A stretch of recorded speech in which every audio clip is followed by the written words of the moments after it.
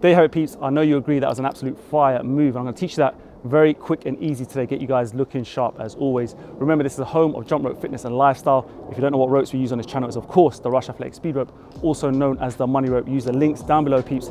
Get yourself geared up straight away. Right, guys, need to quickly point out that you guys need to know how to do the southpaw side swing move, right? The basic form of it kind of looks like this. You kind of open from each side, um, and then you can kind of just kind of switch it up, make it look nice and neat. Uh, and I've got tutorials about this move. Um, I've just done so many of them, so you need to go check it out. Done loads of different variations. For this move in particular, we're gonna focus on the footwork, right? We're gonna add these little hops to it, which give a really nice kind of slick looking look, slick looking, slick look, yeah? You know what I'm saying? It gives it that sharp, kind of effortless look. So you can actually incorporate these into like so many countless routines, make it look like you know exactly what you're doing with this rope. And of course, get a really good workout at the same time. Okay, now, as I get into this move, peeps, what we need to do is actually put the rope down first. I'm gonna get you guys to kind of train your body, building the muscle memory to understand the footwork. And the footwork just simply looks like this. It's gonna feel like you're kind of ice skating, is that a good word? Roller skating, I don't know. But what we're doing is we're landing, as we come into our sort of southpaw to our left side, for example, we're gonna have our left foot down. We're gonna put the pressure on that left leg. The right leg comes off the floor. And now as we're opening the rope out, we're literally opening. And at that same time, we're jumping through the rope, rope even, onto the right hand side and now we're putting the pressure on the right hand side ready to do the same. So you're just kind of, you know, without making it look a bit too crazy and weird, this is the kind of muscle memory we're building in. So arms come across the body, land on each side like this, right? So it looks kind of weird, but you're gonna get understand why we're doing this. Once you build this muscle memory in now, peeps, it's about executing the timing, right? Now we're gonna get our rope here and I'm gonna actually take off my, my shoes because I feel more comfortable doing this without, without trainers um, in general. So what we're gonna do is we're gonna incorporate now like a really slow version of what I've just shown you, building that muscle memory. So here we go. So it's gonna be really slow version of this move. So here, here. All right, now this is all you need to really practice. Just kind of coming down, right? We're gonna get it nice and sharp first off, but we're just practicing on actually really physically kind of just getting our body conditioned to do this, right? So most people might try this and look really out of sync, not slick, obviously not sharp, so I want you to really focus on building that condition in those knees and just practice this, all right? One leg, and as you open the rope, you then switch leg. You're gonna see loads of B-roll on top of this video, which is gonna help you really understand it. For me, when I teach uh, everything I teach on this channel, I think visualizing it, seeing it in slow motion does help you guys. So keep that in mind. Here you go, here, here, here. When you're at this position now, when you've learned how to kind of keep that balance, engage those quad muscles, engage the calf muscles, we're gonna stay on the balls of our feet as always. When you get to this position now, doing it slowly, I want you to start to ramp up the speed. This is how it's gonna look, right? So slow, balance, ramp up the speed. So that's about going 40%. At this point in time, Pete, just, just have a little check on your rope length.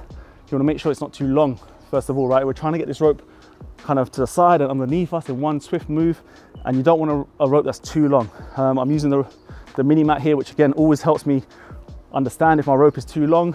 I just want my clips to be a little bit in front of my feet, nothing more. Rope is too long, and also if it's too short, again, you're gonna start to trip high up on your feet, high up on your shins maybe, and that's a good sign. Second point, peeps, is your hand movements, your wrist movement. Now, we're gonna get loads of B-roll, you've got camera B here.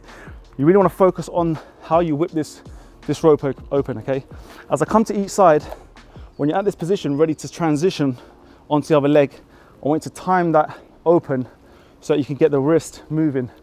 Not from here, you don't want the hands moving away from you. It's more across your body than whip, all right? So I'm gonna show that just in real time now. So we start slow here,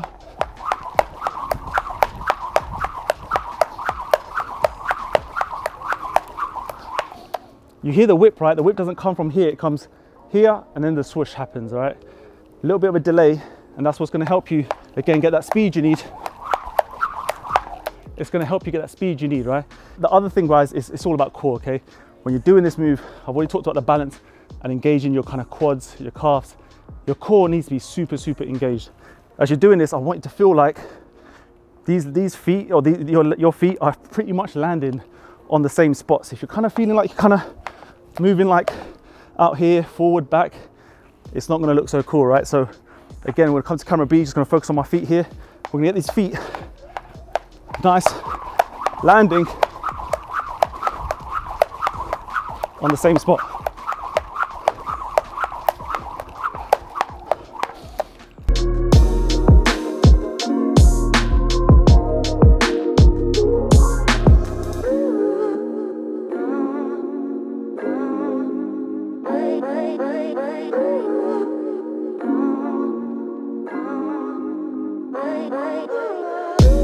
Right peeps, okay, so before we finish up today, I'm gonna show you how you can maybe incorporate this into a routine or so, right? So we've seen how to do the move now.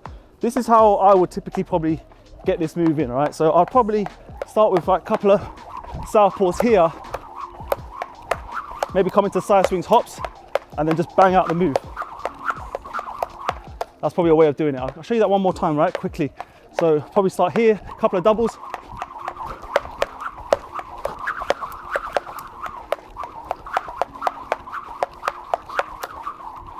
and just threw in a little side swing cross in there as well. So you can get creative with it, peeps.